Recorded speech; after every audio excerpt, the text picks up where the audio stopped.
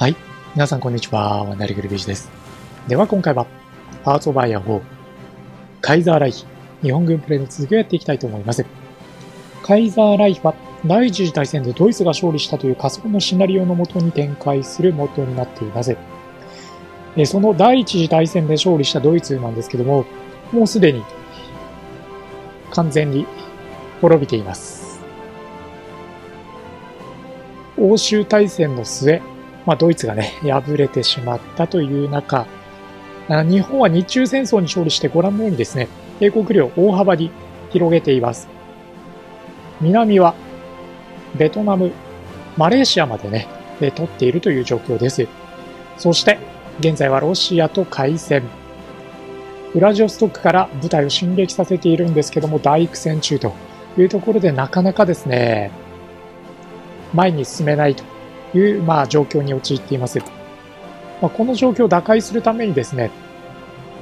禁断の核開発、これを行っているのと、えー、軍事力の底上げというのを図っています。で、この後なんですけども、この後はですね、制空権が全然取れなくなってきているので、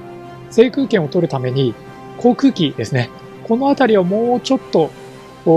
開発ですね。進めていって、戦える戦力に育ててあげていきたいというふうに思っています。では早速時間を進めていきましょう。まあ、艦隊戦になるということもしばらくなさそうなので、えー、ドンリューはじめ重戦闘機の開発を行っていこうかなと思っていますので、まあ、そこでまずこの航空戦を勝利できるように頑張っていきましょう。ロシアがね、もういろんなところにじゃかじゃか戦争を仕掛けているんですけど、なかなかそのロシアに対抗しようという勢力がないので、今、日本が頑張って戦っているっていう状況なんですよね。まあ、早々にアフガンがロシアに併合されてますね。ロシアの勢いが止まらないな。まあ、最悪の場合に備えてどうでしょう。えー、ウラジオストック近辺まで下がるっていうのを考えておいた方がいいかもしれないですね。航空機も1200機体制にしてあるんですけども、なかなか、ご覧のように、満州上空の制空権が取れずに苦戦しているという状況変わらずですね。いや、本当に悩ましい状況に今なってます。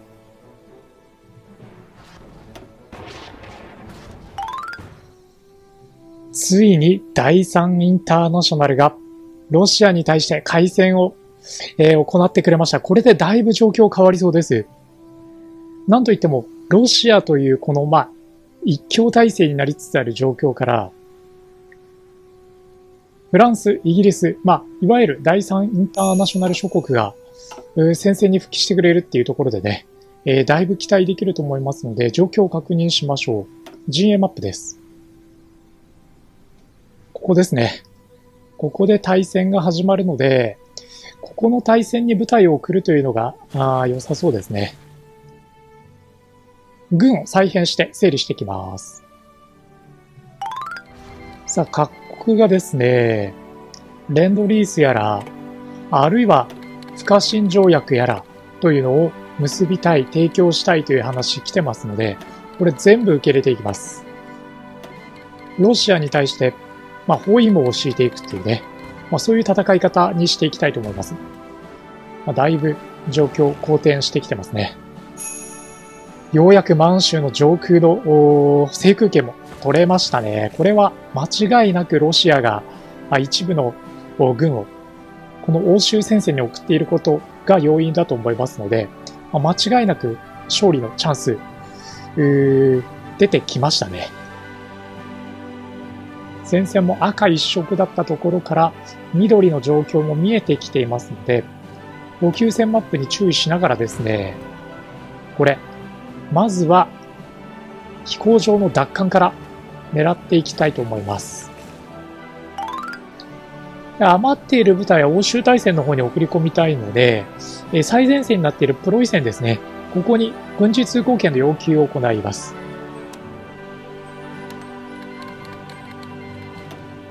これによって部隊を送り込みましょう最前線ですね。まあ実質ヨーロッパの大国たち含めて、第三インターナショナルとはですね、不可侵条約を結んでいる状態なので、このロシアとの戦いの成否が全てにかかっていると言っても良さそうですね。では、アジアを担当していた第一アジア軍なんですけども、この山下さんの部隊を一度、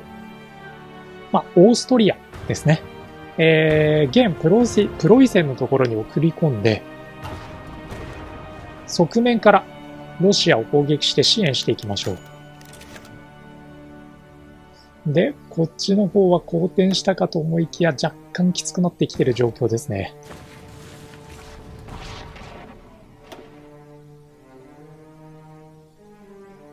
少しマップの状況を見ると黄色くなってしまってるのでどうでしょう？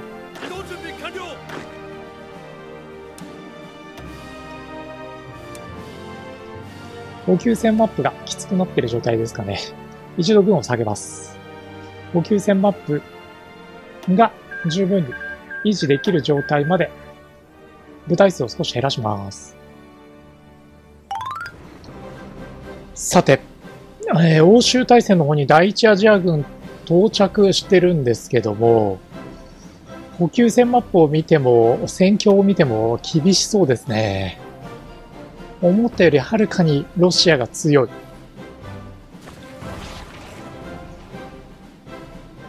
このまま行くと、まずフィンランドが陥落してしまう。まあ、そういう可能性もありそうですね。どうするかな。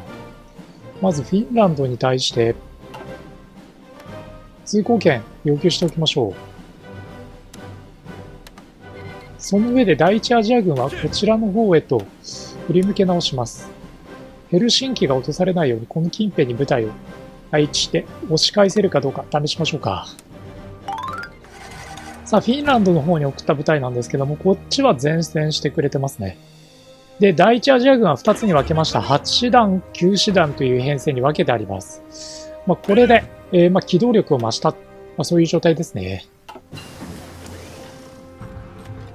さらに重戦闘機も開発順調に進んでいます。まあこのまま、まあなんとか戦況を変えるべく努力をしていきたいところですよね。極東における戦線は膠着状態ですね。むしろ若干押されてるぐらいなので、まあ、一刻も早く欧州方面で戦局を一変させないと、この極東アジアが危なくなってきている。まあ、そういう状況とも言えると思います。海軍なんですけども、新しくですね、近藤さんの艦隊をしてあります。ここは空母3、戦艦1、えー、駆逐艦が14という、まあ、それなりの艦隊の規模になっています。この小沢さん、うん、近藤さんの艦隊をヘルシンキに派遣してですね、このヘルシンキから、えー、艦隊による支援で、この欧州大戦をね、もう少し有利に進められるように頑張っていきたいというところで派遣を行っています。状況を見守りましょう。まあ、苦しい戦いの時、いつも戦況を変えてくれたのは、強襲上陸における戦いでしたので、今回もですね、このヘルシンキからこのペトログラードあたりまで強襲上陸を仕掛ける作戦を考えてですね、一気にこの欧州、フィンランド付近に展開しているロシア軍、撃滅図っていきたいと思っています。はい。まあ、待ちに待ったという表現が正しいか、核爆弾の生産ができるようになります。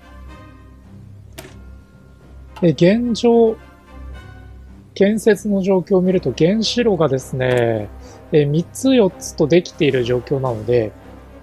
さらに今建造中の原子炉2つと合わせれば、原子爆弾の生産量、それなりに確保できそうかなと思いますので、確保した原爆、これを使っていきましょう。まあ、そのために戦略爆撃機もここで生産を始めておきます。これを使ってロシアに核を落とす。まあ、そういう作戦になりますね。さあ、部隊が強襲上陸仕掛けていきます。強襲上陸できるかどうかというところからですかね。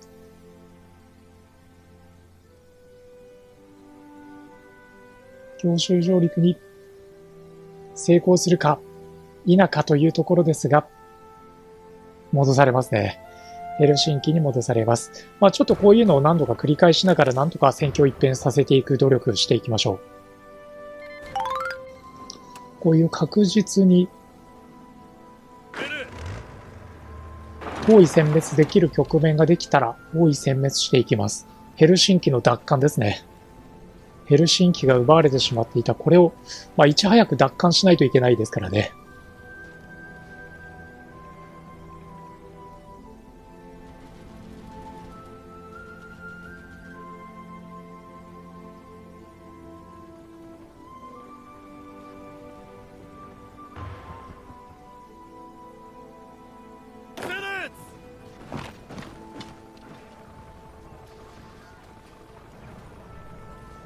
ヘルシンキを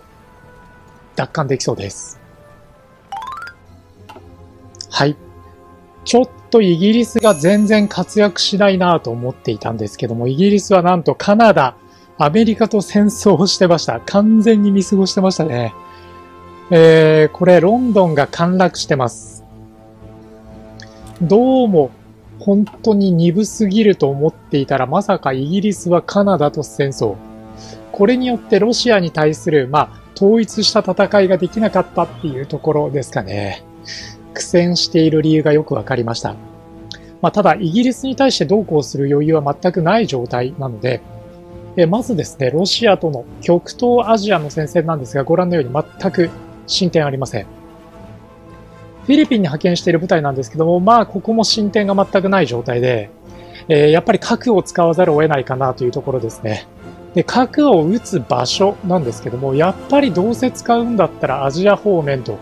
いうのを考えています。